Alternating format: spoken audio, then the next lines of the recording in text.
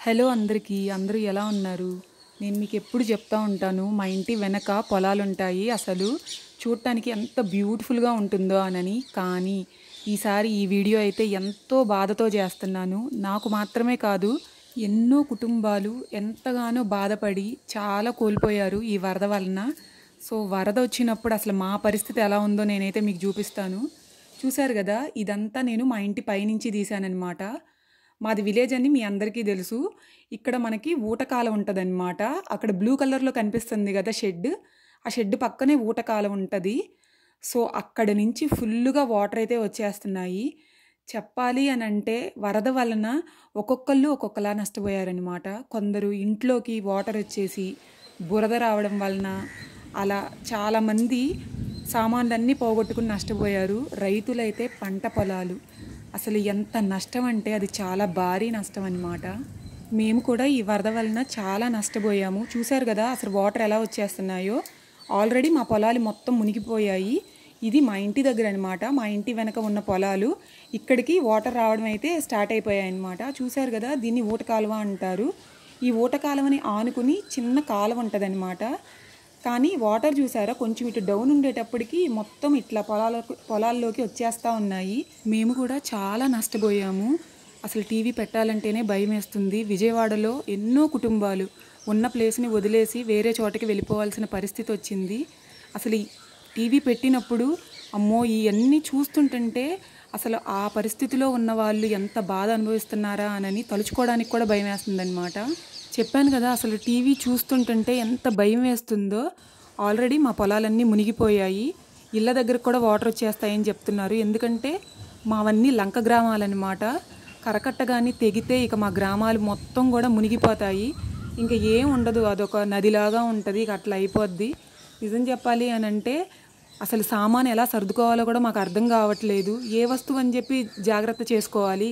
అసలు అంత టైం కూడా లేదు ఇక్కడ. ఎందుకంటే సడన్గా ఊర్లో కూడా నీళ్ళు వస్తాయి అని చెప్పి ఊర్లో అయితే అనౌన్స్మెంట్ ఇచ్చారు. అసలు అసలు అదే చెప్తున్నాను కదా అసలు. మైండే పని చేయట్లేదు అన్నట్టు అయిపోయింది. అసలు ఏం సర్దుకోవాలి? ఏమని ఎక్కడ సర్దుకోవాలి? ఇప్పుడు అందరికీ కూడా సర్దుకునేంత ప్లేస్ కూడా ఉండదు. ఎన్ని వస్తువులని సర్దుకుంటాము? మంచాలు సర్దుకోవాలి? ఫ్రిడ్జులు ఇంకా చాలా చాలా వస్తువులు ఉంటాయి ఎన్నెన్ని జాగ్రత్త చేసుకోవాలి? అసలు బుర్ర అయితే అసలు బ్లాంక్ అయిపోయిందనమాట ఒక్క నిమిషం పని కూడా చేయట్లేదు.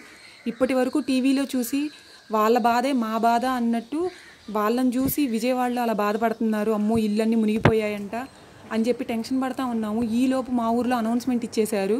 అసలు ఇక ఏం చేయాలో కూడా తెలియట్లేదన్నమాట. పిచ్చెక్కినట్టుంది. అండ్ చూశారు కదా నేను మీకు పైనుంచి చూపిస్తున్నాను.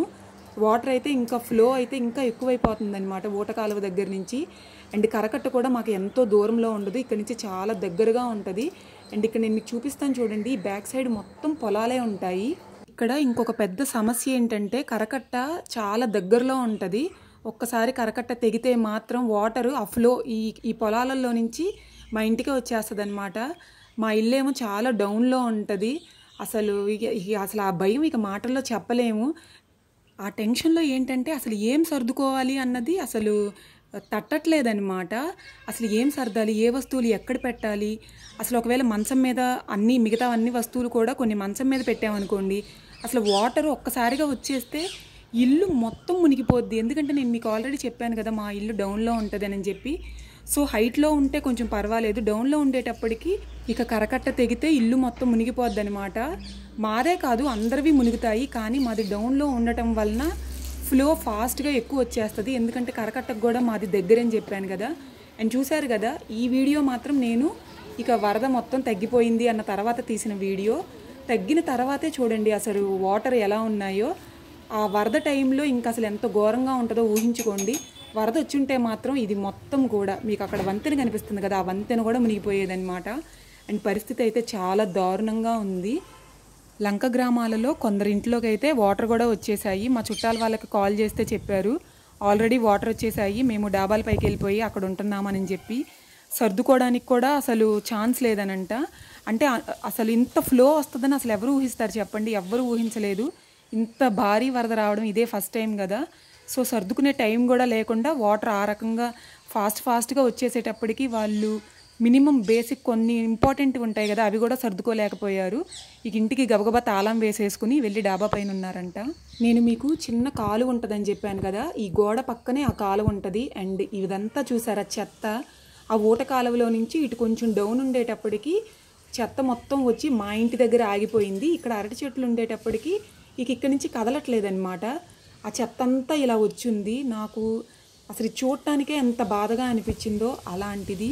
విజయవాడలో అలా అపార్ట్మెంట్లోకి ఆ వాటర్ వచ్చేసి కొందరు ఇల్లు కొట్టుకుపోయి ఇంట్లోకి బురద చెత్త వచ్చి వాటిల్లో నుంచే వాళ్ళు నడిచి వెళ్తుంటుంటే అసలు అది టీవీలో చూడాలంటేనే చెప్పలేనంత బాధ. నిజంగా అసలు అది చూస్తుంటే కళ్ళల్లో నీళ్ళు అసలు ఆగలేదు. కన్నీళ్ళు కారుతూనే ఉన్నాయి. వేరే వాళ్ళ బాధ చూస్తే చూసే తట్టుకోలేకపోతున్నాము.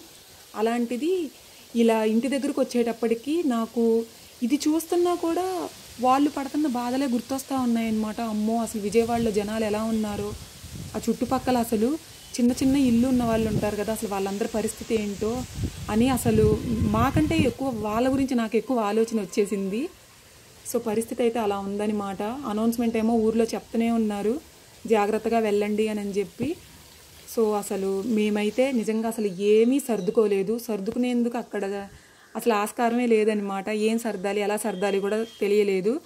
ఎందుకంటే చెప్పాను కదా డౌన్లో ఉండడం వల్ల మేము ఎంత సర్దినా ఉపయోగం ఉండదని అర్థమైపోయింది. ఎన్నెన్ సర్దుకుంటాం చెప్పండి. ఇంకా ఆ రోజు నైట్ అంతా కూడా మేము డాబా పైన ఎక్కి కూర్చున్నామన్నమాట ఇంకా అంతకుమించి ఏం చేయలేమని అర్థమైపోయింది. బయట కారు కూడా ఉంది.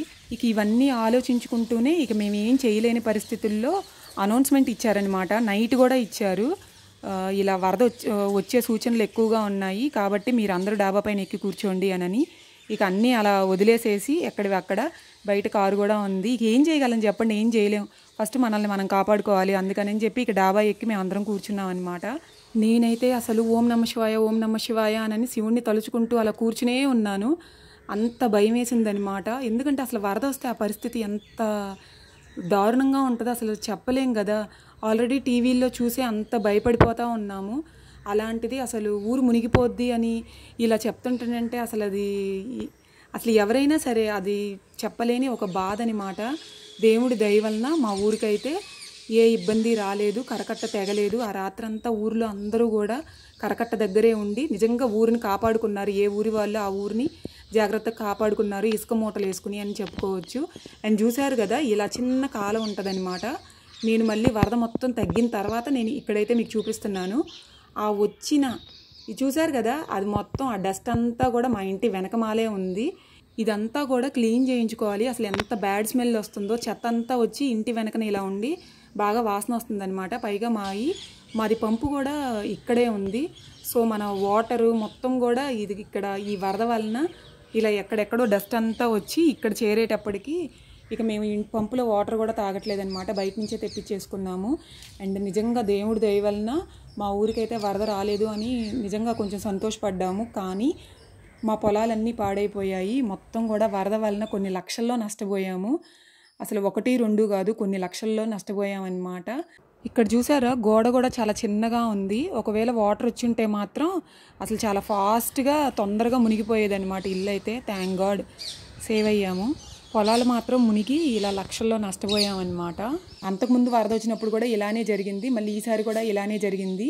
ఇలా వరద జరిగినప్పుడు వచ్చే నష్టం ఎంత భారీగా ఉంటుందో మిడిల్ క్లాస్ వాళ్ళు నిజంగా ఇలాంటి దెబ్బలైతే అసలు తట్టుకోలేరు. తర్వాత మళ్ళీ వర్షం పడేటప్పటికి మొక్కలు ఇలా ఉన్నాయన్నమాట.